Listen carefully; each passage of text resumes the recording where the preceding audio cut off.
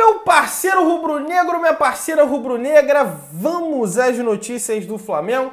Vamos estar tá comentando aí, nação, sobre Felipe Vizeu, né? Cria do, do, do, do Ninho do Urubu, e que existe uma possibilidade do jogador estar tá retornando ao Flamengo. Ele mesmo que falou dessa possibilidade. Vamos estar tá comentando aí sobre o Viseu. Vamos estar tá comentando também, nação, sobre o Bruno Guimarães que quase vestiu o manto sagrado. A gente vai detalhar toda a situação aí para vocês. Vamos estar comentando sobre.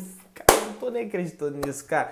Finalmente um técnico brasileiro elogiou o Mr. Jorge Jesus. Vamos estar comentando sobre isso também, sobre Felipe Luiz, CBF e várias outras informações do Flamengo. Então assiste o vídeo completo, assiste o vídeo até o final para vocês ficarem por dentro de todas as notícias do Flamengo. Assista até o final, pô. E, pô, dá aquela moral de sempre. Se inscreve no canal, amassa esse botão vermelho aqui embaixo, aciona o sininho de notificação e amassa o like com vontade mesmo. Fechou? Tranquilidade? Então vem comigo, rubro-negro. Vamos às notícias do esquecido. A rapaziada tocou aí que eu sei. Foi, foi um teste, foi um teste para testar vocês. Bom, galera, falando sério agora, Vamos comentar aí sobre a CBF. A notícia do dia aí sobre a CBF é a seguinte: CBF prepara médicos visando o retorno do futebol. Jogadores devem ser submetidos a testes antes dos jogos. Eu acho isso meio contraditório. E agora faço a minha pergunta à dona CBF sobre isso. Ok, vamos dizer que todo o cerco seja montado, arbitragem, galera que vai trabalhar no jogo. E no cenário pré-jogo, os jogadores são submetidos a um teste para ver se eles vão testar positivo ou negativo para a doença. Vamos supor que um jogador é testado como positivo. E aí? Como é que vai ter certeza se esse jogador que está no vestiário não passou a doença para outro jogador que está no vestiário? Porque se o jogador tiver acabado de pegar a doença, não aparece lá no exame, né? Então, assim, eu, eu acho uma fórmula meio contraditória da CBF, de certa forma, é, tá tentando, tá tentando empurrar com a barriga os estaduais, na verdade. Essa é a realidade. Porque o Flamengo já comunicou à CBF, enviou uma nota à CBF dizendo que deseja seguir as recomendações dos especialistas, que no caso são os infectologistas, que nesse momento é unanimidade em dizer que não tem como ter futebol agora, principalmente porque o número de casos está subindo.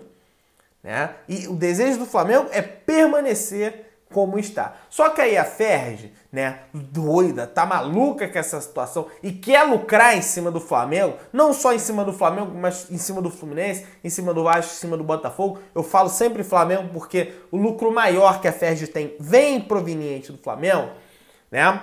Eles querem empurrar com a barriga. Um estadual que já acabou, velho.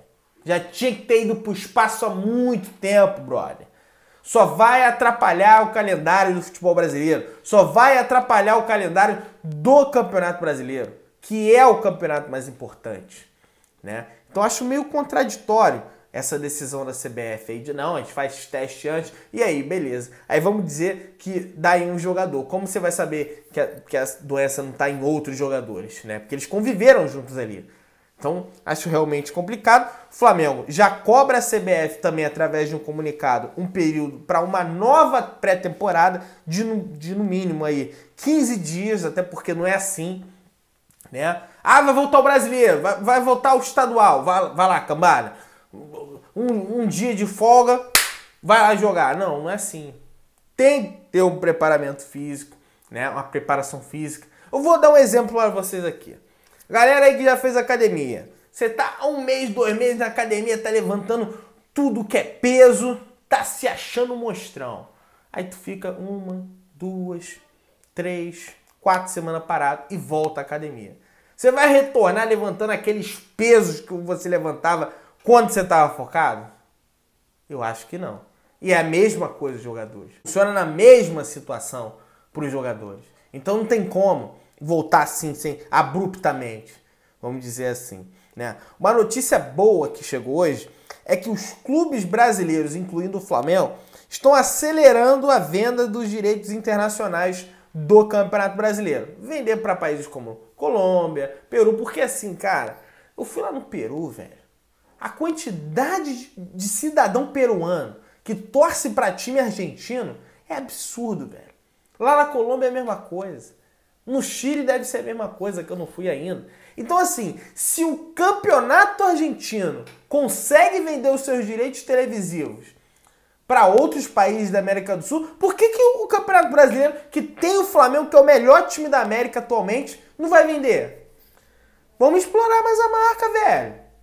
O perfil do Flamengo em espanhol lá no Twitter tá parado, ninguém posta mais nada.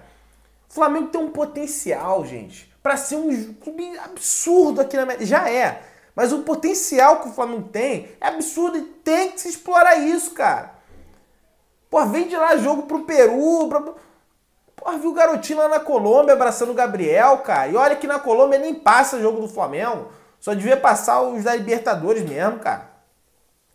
Então vamos, vamos acelerar essa situação aí, gente. Bom, comentando agora. Cara, olha, cara, é uma, uma curiosidade aí para vocês agora que eu vou estar passando sobre o Felipe Luiz. Cara, como eu gosto desse jeito do Felipe Luiz. É realmente uma coisa absurda. Presta atenção no que eu vou falar aqui para vocês. O Felipe Luiz falando porque nunca pediu uma camisa do Messi. Presta atenção. Entrevista à revista Panenka. Abre aspas, por, abre aspas por Felipe Luiz. Eu sempre bati nele para detê-lo e ele nunca me censurou por nada. Eu o admiro muito pelo futebol. Nunca lhe pedi uma camisa porque entrei em campo para vencê-lo e não para dizer que eu joguei contra ele. E é realmente isso, cara. Não importa se é Messi, Cristiano Ronaldo, Pelé, é, entendeu? Você vai entrar ali, ah, tu tem sim uma admira, admiração pelo cara, mas tu vai entrar ali com sangue no olho para vencer ele, irmão. Independentemente de quem seja o adversário. Então, eu amo, cara. Sou apaixonado por esse jeito competitivo, de senso de competição do Felipe Luiz. Principalmente porque um tempo atrás o Flamengo tinha aquele famoso modo banana que ninguém competia nada. E acredito que o Felipe Luiz agregou muito para esse senso de competição que hoje o time do Flamengo tem. Agora vamos a uma situação totalmente inédita no futebol brasileiro, né? Que é de um treinador elogiando o trabalho do Mister Jorge Jesus. Eu estou falando do Paulo Roberto Falcão, não sei nem se ele treina mais time, já foi comentarista né, do Grupo Globo, já foi treinador internacional, já foi jogador da Roma, esteve na Copa pela seleção brasileira de 1982. E olha o que, que ele falou do Mister Jorge Jesus. No Brasil, hoje o exemplo é o Flamengo, que joga apenas com o Ilharão como mediano, no caso como volante mas ele também sabe definir o jogo. As equipes do Jorge Jesus jogam parecidas com a equipe do Jürgen Klopp e do Guardiola, técnicos do Liverpool, Klopp, e, do, e o City, o Guardiola, embora com padrões diferentes. Que baita elogio. Entrevista à La Gazeta no Esporte, né? Que, que é um jornal italiano internacional, apesar de eu ter ficado bolado com eles aí, né? uma situação do, do Gabigol que eles brincaram aí, né? A gente soltou o porrete aqui. Mas é um jornal internacional. Então, tem bastante relevância esse elogio do Falcão para o time do Flamengo. Agora, comentando sobre Bruno Guimarães, rapaziada. Quase que o Bruno Guimarães vestiu a camisa do Flamengo, rapaz. Vamos lá.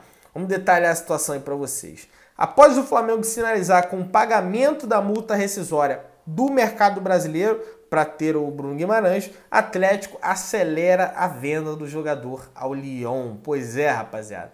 O Flamengo já estava com pé para estar tá trazendo o Bruno Guimarães Flamengo, um baita de um jogador que teve parte da sua base formada no Flamengo, mas infelizmente algum indivíduo, né, algum sujeito dispensou o cara, né?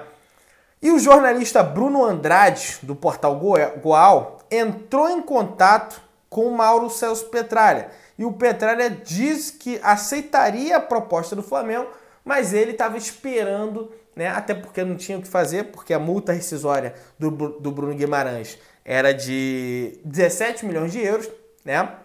Então, assim, não tinha o que fazer, é uma multa rescisória, você paga e leva o jogador. Só que aí veio o Lyon da França cobrindo essa multa rescisória, pagando em torno aí de 26 milhões de euros aproximadamente. E aí não teve, né?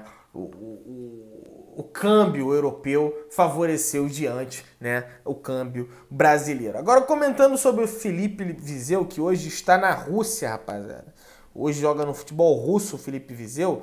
Em entrevista a Monique Danello do Esporte Interativo, ele falou o seguinte: Eu espero voltar em breve ao Flamengo, que um dia eu possa ter a oportunidade de vestir o manto novamente, ter o carinho dos torcedores, porque tenho certeza que tem muitas pessoas que gostam de mim lá. Pois é, Viseu, menos o Rodolfo, né? Apesar que o Rodolfo já saiu do Flamengo, eu sei que vocês fizeram as pazes. A pergunta que não quer calar, Rubro Negro: aceitaria Felipe Viseu de volta ao Flamengo? Deixa aí nos comentários que eu quero saber. Ele tá doidinho para voltar, não deve estar tá aguentando, né? O frio russo lá. Boa nação, essas foram as informações no Flamengo. Se inscreve no canal, só no sininho da notificação, amassa o like. Tamo junto, saudações rubro-negras.